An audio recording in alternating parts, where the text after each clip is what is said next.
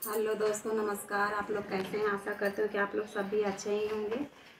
सुबह सुबह सारा काम करके, इस बच्चों लोग को स्कूल भेज के, खाना वाना बना के, जो भी हम काम करके, जो भी हम, मेरे पास टाइम मिलता है, देखिए, हम आप लोग को दिखाते हैं कि एक साड़ी हम फाड़ रहे हैं।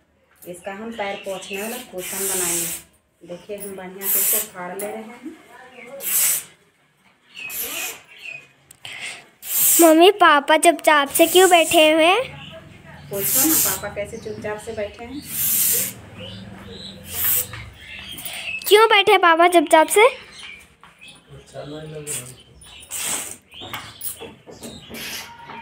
ओ।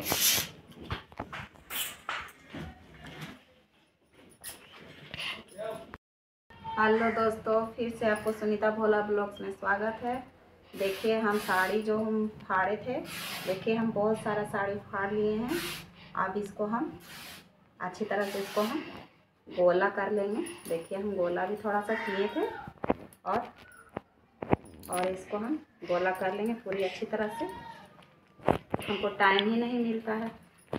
कभी टाइम मिलता है शाम को, थोड़ा सा एक काम कर लेते हैं। खाना ही में वक्त बीत जाता है मेरा, मैसने धोने में, झाड़ू पोछा करने में। बच्चा लोग को स्कूल भेजने में, स्कूल से आते हैं, बच्चे लोग तो बोलते हैं, मम्मी, खाना दो, उसको खाना दें। फिर शाम हो जाता है, घर का ही काम करने में। तो कभी बीन पाते हैं, कभी नहीं भी बीन पाते हैं। अब देखिए, शाम हो गया, जा रहे हैं चावल फूलने के लिए दिए थोड़ा सा चावल का रोटी बनाएँगे देखिए। हम इस गोला को करके बढ़िया से गोला को कर लिए अब थोड़ी देर के बाद हम बताते हैं कि हम कुशन कैसे बनाएँगे। देखिए, ये मेरा कुशन इतना तक हम बना के रेडी कर लिए थे। और थोड़ा सा गोला बचा था। देखिए। आप लोग देखे होंगे कि इतना जल्दी कैसे बीन ली है। तो आपको हम बताते हैं कि कैसे हम लोग ये क्वेश्चन इस फूल को बनाएँगे। पहले हम तीस घर मेरा लिया हुआ है, लेकिन आप लोग अलग से बता रहे हैं, कांटा में पहले तीस घर हम इसमें ले लेंगे उसके बाद तीन तीन घर साइड से छोड़ ले जाएँगे और एक घर साइड से बढ़ाते जाएँगे। उसके बाद छोड़ते जाएँगे एक साइड से, एक साइड से बढ़ाते जाएँगे।